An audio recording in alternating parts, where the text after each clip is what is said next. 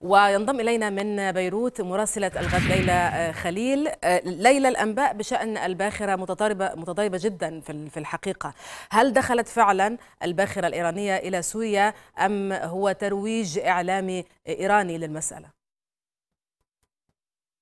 يعني يمكن للإعلام الإيراني والوكالات الإيرانية أن تقول ما تشاء ولكن بحسب مواقع التي تتتبع مسارات السفن عبر المياه تقول بأن السفينة الإيرانية التي انطلقت أول واحدة انطلقت هي لم تقطع حتى قناة السويس ولم تصل إلى البحر الأبيض المتوسط وأن السفينتين الأخرتين واحدة خرجت من أحد الموانئ في إيران والثانية لا تزال تتواجد في المياه الإيرانية.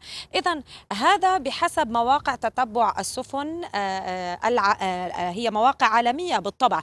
هذه المواقع قالت بأنها ستكشف تباعا عن أسماء هذه السفن عندما تدخل إلى البحر الأبيض المتوسط إذا ما تمت الموافقة على كشف أسمائها من قبل السفن ذاتها. وأن السفينة التي وصلت منذ بضعة أيام إلى سوريا هي عبارة عن ناقلة نفط خام يتم إرسالها بشكل دوري وشهري من إيران إلى سوريا وهي تحمل حوالي 730 ألف برميل من النفط الخام ولا علاقة لها بالسفينة أو السفن الثلاثة التي من المفترض أن يتم إرسالها لمساعدة لبنان والتي تحمل المازوت والبنزين. طيب ليلى بالتأكيد هذا الموضوع له تداعياته على السياسيين القادة السياسيين في لبنان. كيف تعاطوا مع مسألة الباخرة الإيرانية أو المازوت والبنزين الإيراني؟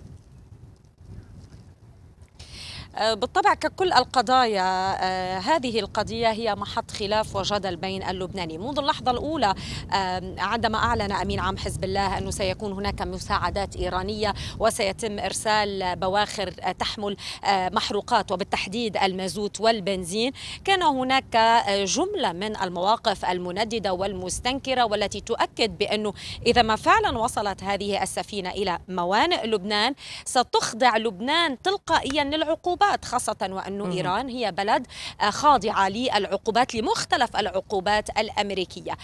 ولكن هناك اليوم البعض يقول بأن هذه السفينة أو هذه البواخر الثلاثة قد لا تدخل المياه الإقليمية اللبنانية ولن تفرغ حمولتها في أي من الموانئ اللبنانية تفاديا لهذا الموضوع ولربما ستفرغ حمولتها في أحد الموانئ السورية وعلى الأرجح ميناء بنياس. ومن ثم يتم نقل هذه الشحنات المحروقات المازوت والبنزين إلى لبنان عبر البر. بالأمس أيضا أود أن أشير وألفت إلى زيارة الوفد وفد الكونغرس الأمريكي الذي التقى بالأمس عدد من المسؤولين.